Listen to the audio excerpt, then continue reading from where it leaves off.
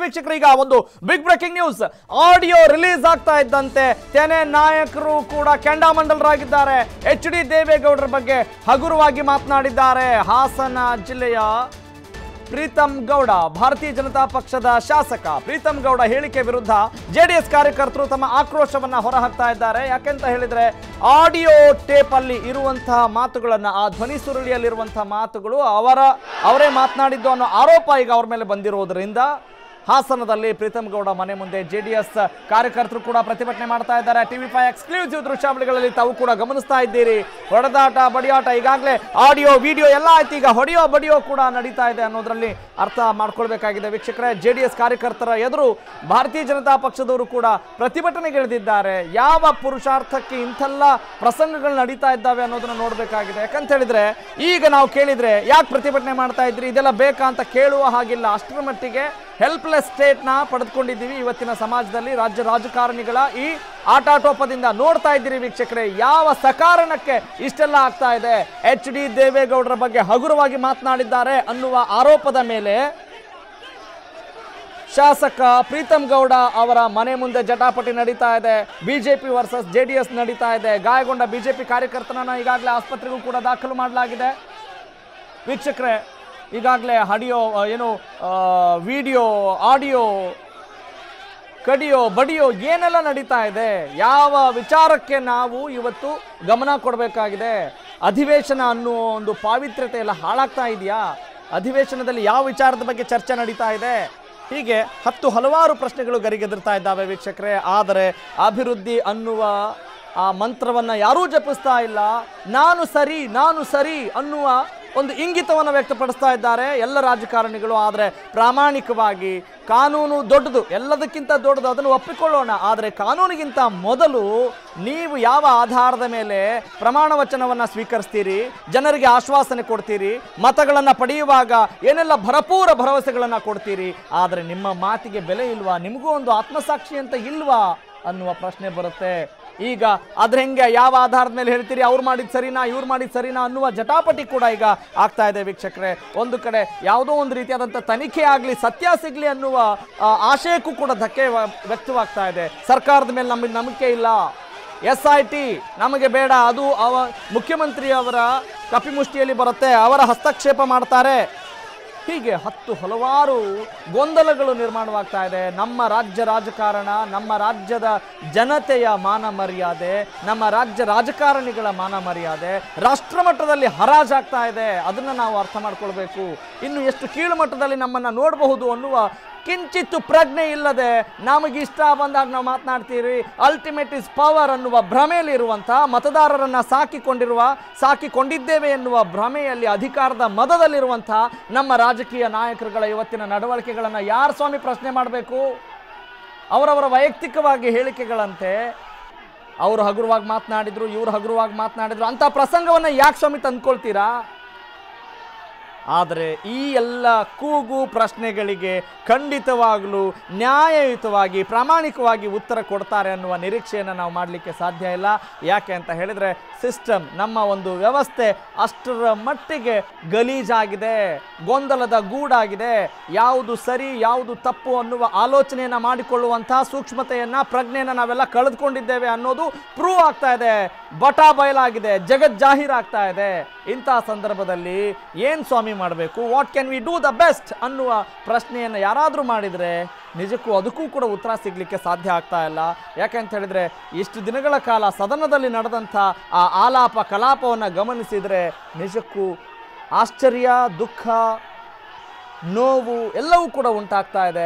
ಬಡವನ ಕೋಪ ದವಡೆಗೆ ಮೂಲ ಅನ್ನುವ ನಿಟ್ಟಿನ ಅನ್ನುವಂತೆ ನಮ್ಮ ಜನತೆಯ ಕೂಗು ಅಥವಾ ಒಂದಿಷ್ಟು ಸಮಾಜದ ಪರವಾಗಿ ಮಾತನಾಡುವಂಥವರ ಕೂಗು ಅದು ಯಾವುದು ಕೂಡ ಕೇಳಿಸೋದಿಲ್ಲ. ಯಾಕೆ ಅಂತ ಹೇಳಿದರೆ ಅಧಿಕಾರ ರಾಜಕಾರಣಿಗಳು ನಡೆಸ್ತಾ ಇದ್ದಾರೆ. ಎಸ್ ವೀಕ್ಷಕರೇ, ಸ್ವಾರ್ಥ ಹೆಚ್ಚಿಗೆ ಆದಾಗ, ಸ್ವೇಚ್ಛೆ ಜಾಸ್ತಿ ಆದಾಗ ಏನೆಲ್ಲ ಆಗುತ್ತೆ ಅನ್ನೋದನ್ನು ನಾವು ಗಮನಿಸಬಹುದಾಗಿದೆ. ಟಿ ವಿ ಫೈವ್ ಎಕ್ಸ್ಕ್ಲೂಸಿವ್ ದೃಶ್ಯಾವಳಿಗಳು ಕೂಡ ಅದಕ್ಕೆ ಸಾಕ್ಷಿಯಾಗ್ತಾ ಇದೆ ವೀಕ್ಷಕರೇ. ತೀವ್ರವಾಗಿ ಬಿಜೆಪಿ ಕಾರ್ಯಕರ್ತ ಗಾಯಗೊಂಡಿದ್ದಾನೆ ಅನ್ನೋ ಒಂದು ಮಾಹಿತಿ ಲಭ್ಯವಾಗ್ತಾ ಇದೆ. ಆಡಿಯೋ ರಿಲೀಸ್ ಆಗ್ತಾ ಇದ್ದಂತೆ ತೆನೆ ನಾಯಕರು ಕೆಂಡಾಮಂಡಲರಾಗಿದ್ದಾರೆ ನಮ್ಮ ವರಿಷ್ಠರಿಗೆ ಮಾಜಿ ಪ್ರಧಾನಿ ಎಚ್ ಡಿ ದೇವೇಗೌಡರನ್ನ ಹೇಗೆ ನೀವು ಹಗುರವಾಗಿ ಮಾತನಾಡಿದ್ದೀರಿ ಅನ್ನುವ ಪ್ರಶ್ನೆಯನ್ನ ಮಾಡುವುದರ ಮುಖೇನ ಈ ರೀತಿಯಾದಂಥ ಹೊಡೆದಾಟ, ಬಡೆದಾಟಗಳಲ್ಲಿ ಇವತ್ತು ನಾವು ಸದ್ಯದ ಸನ್ನಿವೇಶಗಳನ್ನು ನೋಡ್ತಾ ಇದ್ದೇವೆ.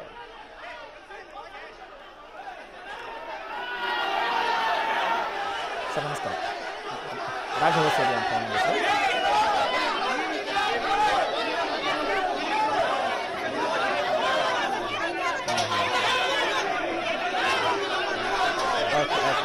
ನೋಡಿ ನೋಡಿ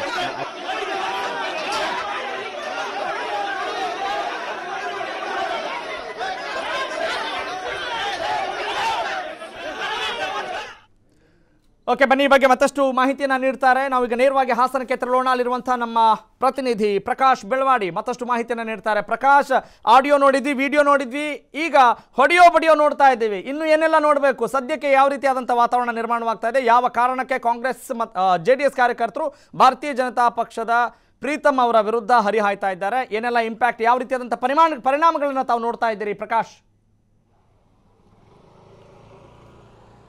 ಹಾ ರಾಘವ್ ಸೂರ್ಯ ಈಗಾಗಲೇ ಸದ್ಯದ ಪರಿಸ್ಥಿತಿಯಲ್ಲಿ ಮನೆ ಮುಂದೆ ಕೂಡ ಶಾಂತಿಯುತವಾದಂತಹ ವಾತಾವರಣ ಕೂಡ ಇರುವಂತದ್ದು ಅದರ ಜೊತೆಗೆ ಸುಮಾರು ಇಪ್ಪತ್ತೈದರಿಂದ ಮೂವತ್ತಕ್ಕೂ ಹೆಚ್ಚು ಪೊಲೀಸರನ್ನು ಕೂಡ ಇಲ್ಲಿ ನಿಯೋಜನೆ ಮಾಡಿರುವಂತದ್ದು ಆ, ಮತ್ತೆ ಜಿಲ್ಲಾ ಪೊಲೀಸ್ ವರಿಷ್ಠಾಧಿಕಾರಿ ಏನಿದ್ದಾರೆ ಅವರು ಕೂಡ ಈಗ ಬಂದು ಭೇಟಿ ನೀಡಿ ನಂತರ ಹೋಗಿರುವಂತದ್ದು ಇವತ್ತು ಬೆಳಿಗ್ಗೆ ಏನು ಆಡಿಯೋ ಒಂದು ರಿಲೀಸ್ ಕೂಡ ಆಗುತ್ತೆ. ಅದರ ಜೊತೆಗೆ ಮಾಜಿ ಪ್ರಧಾನಿ ಎಚ್ ಡಿ ದೇವೇಗೌಡರು ಮತ್ತೆ ಸಿಎಂ ಕುಮಾರಸ್ವಾಮಿ ಅವರ ಬಗ್ಗೆ ಒಂದು ಹಗುರವಾಗಿ ಮಾತನಾಡಿರುವಂತಹ ಆಡಿಯೋ ಕೂಡ ವೈರಲ್ ಆಗುತ್ತೆ. ಆ ವೈರಲ್ ಆಡಿಯೋ ಹಿನ್ನೆಲೆಯಲ್ಲಿ ಕೂಡ ಇವತ್ತು ಬಿಜೆಪಿ ಶಾಸಕ ಪ್ರೀತಮ್ ಗೌಡ ಏನಿದ್ದಾರೆ, ಅವರ ಮನೆ ಮುಂದೆ ಜೆಡಿಎಸ್ ಕಾರ್ಯಕರ್ತರು ಕೂಡ ಪ್ರತಿಭಟನೆಗೆ ಹಮ್ಮಿಕೊಳ್ತಾರೆ. ಹಮ್ಮಿಕೊಂಡಂತಹ ಸಂದರ್ಭದಲ್ಲಿ ಪೊಲೀಸರು ಕೂಡ ಇನ್ನೇನು ಕೊನೆಯ ಹಂತದಲ್ಲಿ ಅವರನ್ನ ಶಾಂತಿಯುತವಾಗಿ ಕಳಿಸ್ಲಿಕ್ಕೆ ಕೂಡ ಮುಂದಾಗ್ತಾರೆ. ಆದರೆ ಬಿಜೆಪಿ ಕಾರ್ಯಕರ್ತರು ಮತ್ತೆ ಜೆಡಿಎಸ್ ಕಾರ್ಯಕರ್ತರ ನಡುವೆ ನಿಧಾನಗತಿಯಲ್ಲಿ ಮಾತಿನ ಚಕಮಕಿಯಾಗಿ ನಂತರದಲ್ಲಿ ವಿಕೋಪಕ್ಕೆ ಕೂಡ ತಿರುಗುತ್ತೆ.